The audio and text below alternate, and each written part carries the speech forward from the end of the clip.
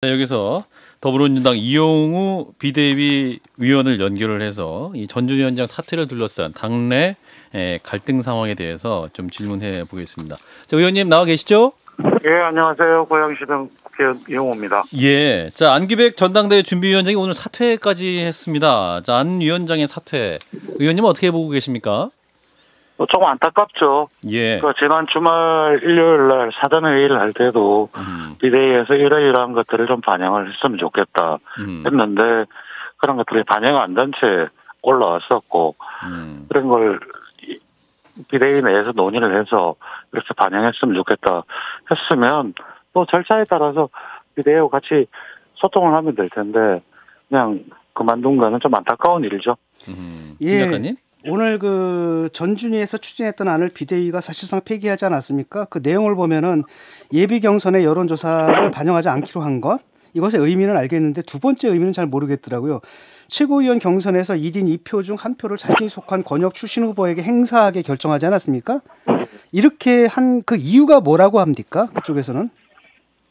그거는 원래 우장호 비대위원장이 처음 할 때부터 예. 전준위에 요구했던 사안이 음. 우리 당이 그 지역 수도권 정당으로 되면서 지역성이 없어지는 그 대표를 안 하는 건 문제가 있다. 예. 음. 그래서 전준위에서 그런 방안을 논의해 달라고 했었습니다. 예. 근데 단지 공고로 어, 지명직 비대위원을 할 때 지역을 안 배, 배려해 달라. 음. 또 공고를 한다고 하면 실제로 그렇게 안 되는 상황에서 그 비대위에서 요청을 했- 한 거에 대해서 크, 크게 논의를 하지 않았기 때문에 아하. 비대위에서 처음 이야기할 때부터 이런 사안에 대해서는 좀 심각하게 고민을 해야 되고 전국 정당으로서 특히 수권 정당이 되려고 한다면 음. 어떤 부분을 배려해야 되고 할 부분이 있다.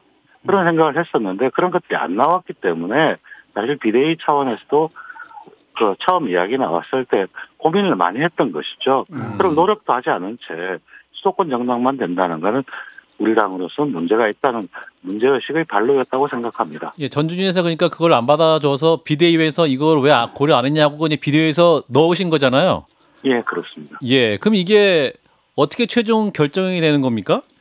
그러면 이제 당무위에서 승인을 하면 당무에서 추인하면 끝나는 일입니다. 아 아. 그렇군요. 근데 그- 이제 여론조사 비중이 있지 않습니까, 의원님? 예, 이제 국민의힘 같은 경우도 1차 경선할 때 보면 여론조사 50% 비중을 하면서 전반적인 당대표 경선 흐름은 국민 여론 많이 받는 건데 지금 이제 그거를 전준위에서는 넣자고 더 늘리자고 한 건데 비대위에서 거부한 거잖아요. 사실은 보면 본 경선에서 실제로 이제 여론조사 비중을 늘렸죠.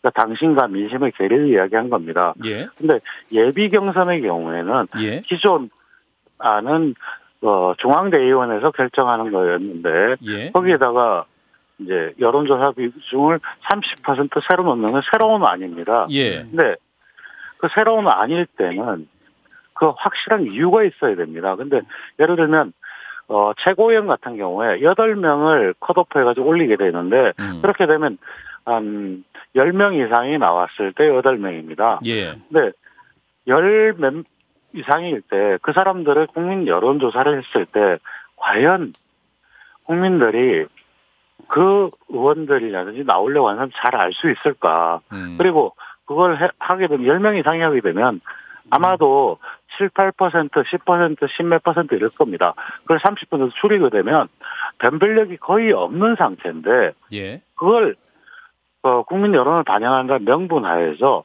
해- 한다고 한들 거의 의미가 없는 숫자가 나올 수 있다. 그리고 우리 당의 중앙대 의원이 국회의원과 지역위원장, 시도지사, 시군구청 이런 사람들입니다. 예, 민심을 가장 많이 알고 그 사람들이 하는데 그 자율적 의사결정에도 상당히 존중을 해야 된다. 이런 부분이 감안돼서 어 됐던 거고 또 하나는 이제 이런 게 있습니다.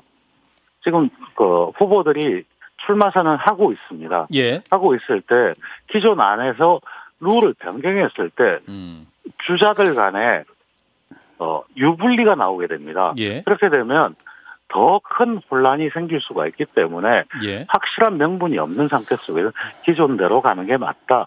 이런 차원에서 결정을 한 거로 한 겁니다. 예. 근데 오늘 친 이재명계 의원들이 또 반박 기자회견을 한 거는 들으셨을 것 같은데 비대위 안대로 이제 가면 이게 뭐랄까요 이재명 후보마저 컷오프 될 수도 있다 이렇게까지 주장을 합니다. 아니 우리 당의 중앙대의원들을 누구 한 사람의 지시에 의해서 예. 어떻게 움직이는 사람으로 본다는 자체가 상당히 극단적인 발상이고요. 예. 그리고 중앙대 의원들도 음. 각각 누가 이, 이 사람을 찍으라고 해서 찍는 게 아닙니다. 예. 우리가 자식도 자기 마음대로 하지 못하는 상황인데 어떻게 그런 걸 한다고 그러니까 그런 극단적인 발상을 하면서 예. 이야기를 한다는 것도 조금 더 좀 무리가 있지 않을까 이런 생각이 듭니다. 음. 이 문제는 이제 이 과정에서 비대위가 전당대회 준비위원 사전 경험이 없었다라고 이제 안규백 위원장은 사퇴까지 하면서 당내 갈등이 지금 국민들 앞에 지금 보여지고 있는 상황 아니겠습니까? 근데 사실 지난 일요일 날 사전 회의를 하면서 그런 주문들을 많이 했었습니다. 예. 그리고 그거에 대해서 또 반영을 해달라고 했는데 예. 우상호 비대위원장이 밝혔듯이 음. 저희들이 이러이런 우려라든지 이러한 부분을 고려해달라는 부분을 하지 않은 채 전당대회 전준위를 했었고 전준위 내에서도 A안, B안 이렇게 올리려고 하다가 하는 예. 걸 일방적으로 결정을 한 겁니다. 그러니까 이거 자체도 사실 보면 그리 좋은 모습은 아니지만 음. 그런 것들 다 알고 있기 때문에 예. 정리를 한 거죠. 근데 이게 룰을 그 정하는 것은 전준위의 권한 아닌가요? 최종적인 권한은 비대위에 있습니다. 아, 예. 아 그런가요? 안규백 전당대회 준비위원장은 저희 방송에서 이 룰 결정은 이 전준위에서 하는 거라고 저희 방송에서 말씀하셨는데 아니 그렇게 되면 비대위가 있을 이유가 없죠. 아하. 그리고 비대위에서 당무에 올려서 예. 당무위원회에서 최종 결정을 하게 돼 있죠. 음, 그렇군요. 그럼 당무에서는 비대위 결정을 존중하는 흐름으로 갈 수밖에 없는 거 아닙니까? 뭐 그거는 논의를 해봐야 알죠. 아하, 그렇군요. 그러면은 이제 전당대회 준비 역할은 더 이상 없는 것이고 이제 비대위가 아니, 그 키를 갖고 가는 건가요? 그 전준위 룰뿐만 아니라 예. 전, 전준위에서 해야 될 것들이 절차들이 몇 가지가 더 있을 겁니다. 예.